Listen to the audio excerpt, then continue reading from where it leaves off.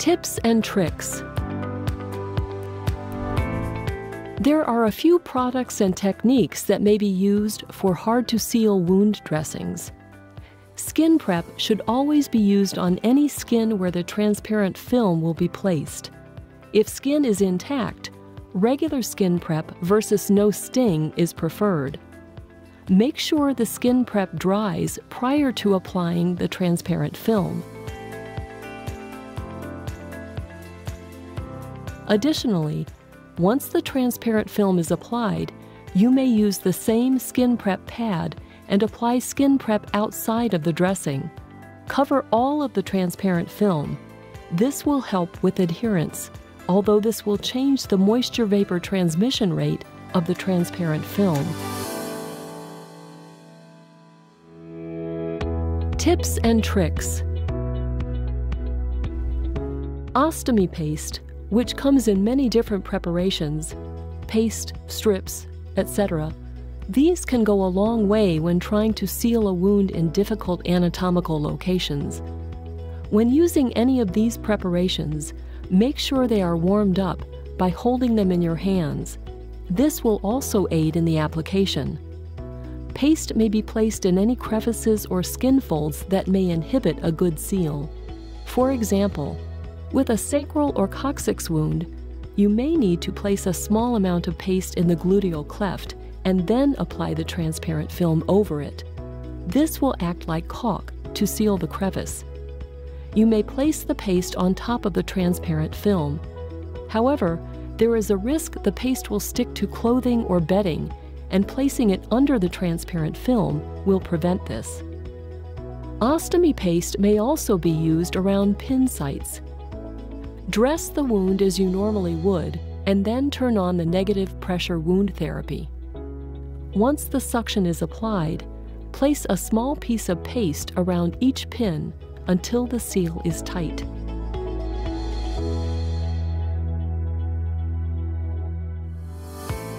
Tips and tricks. Hydrocolloid is also very helpful in assisting with a hard to seal wound dressing. The hydrocolloid will absorb some moisture, so it is a great option in moist areas, such as the groin, a foot, or perineal wounds. Cut the hydrocolloid in strips about 1 to 3 centimeters wide and picture frame your wound with the strips.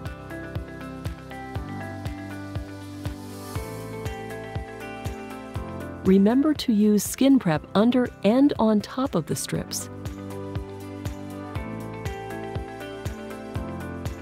Then, cover the wound with the transparent film. The transparent film will stick very well to the hydrocolloid strips. Hydrocolloid strips may also be used around pin sites. Dress the wound as you normally would and turn on the negative pressure wound therapy. Once the suction is applied, place short strips around each pin site until the seal is tight. Tips and tricks.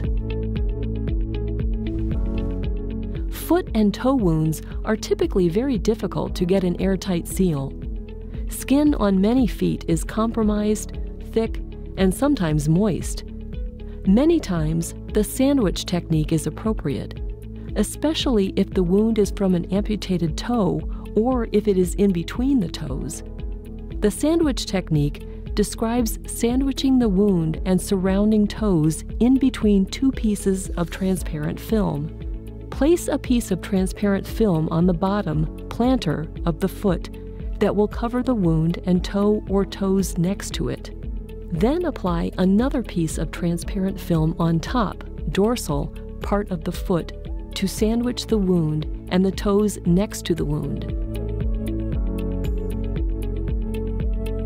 Then you are able to cut the hole over the wound and place the FitPad, or you can then bridge over the transparent film.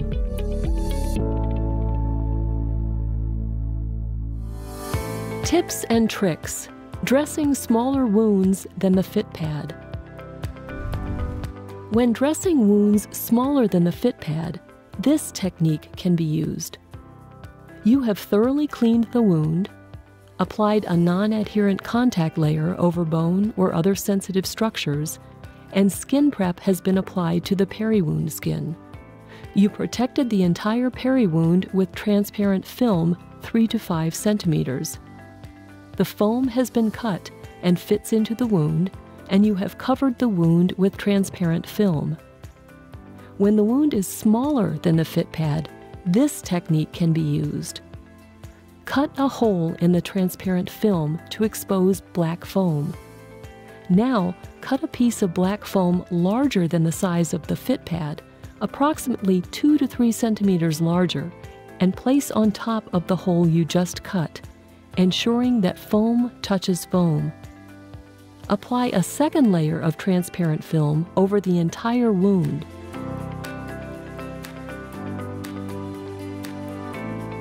Select appropriate location for the FitPad to be applied. Pinch the film and cut a small hole approximately 1 centimeter in diameter. Peel the white backing off of the FitPad to expose the adhesive. Place the FitPad centered over the previously cut hole in the dressing. Press firmly for adherence. Attach the dressing tubing to the pump tubing by pushing the quick connector together until you hear a secure click.